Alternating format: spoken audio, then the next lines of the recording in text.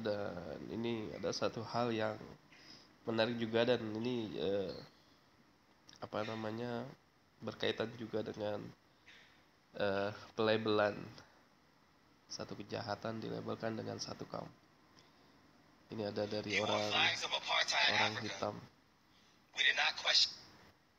Kita cek. On June 17th, 2015, Dylan Ruff walked into a midweek Bible study. He sat and prayed with the church members before pulling out his gun, killing most, and allowing one to live.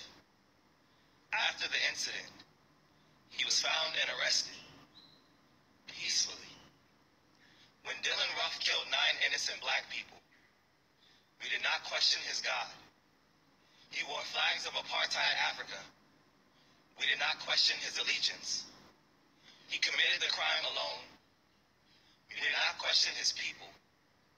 When Adam Lanza shot a classroom full of first graders at Sandy Hook Elementary, we did not ask him to leave the country. When Timothy McVeigh killed 168 people in Oklahoma, we did not call this a crime against every American.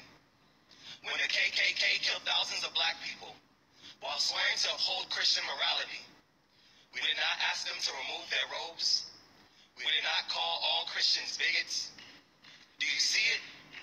How we don't label all white men based on the sins of a few. Do you see it?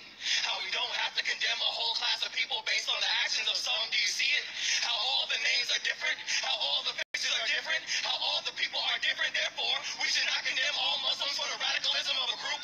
If you want to persecute ISIS, go ahead. But to persecute ISIS is to persecute those that gave them power. To persecute those that gave them power is to persecute the U.S. government. Do your research. Islam is not synonymous with terror. It is literally submission.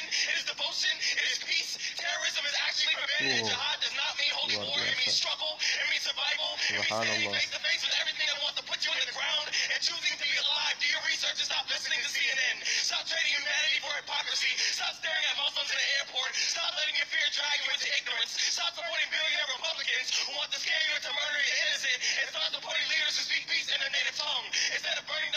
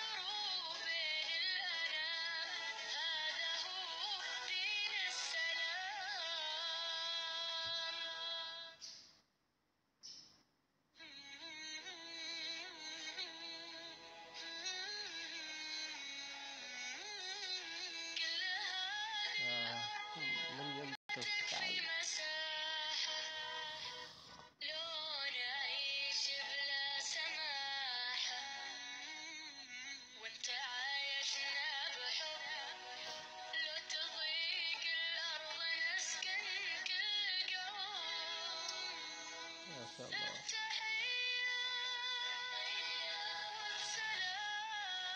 Damai itu memang indah sangat.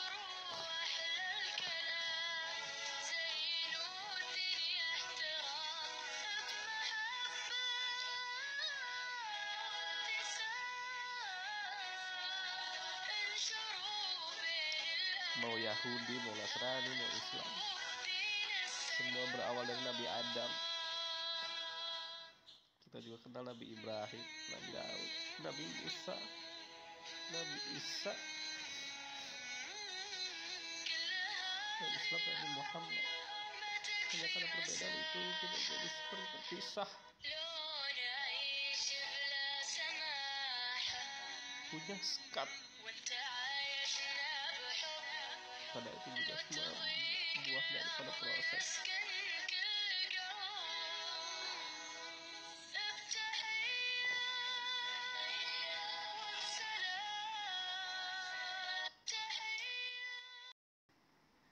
Mungkin ada yang masih bertanya-tanya tentang apa sih manfaatnya pakai hijab. Ah, ini video bagus nih. jilbab mau dimuliain Allah loh kok gak mau. Asal lu tahu ya, tujuan jilbab itu agar kita tidak diganggu.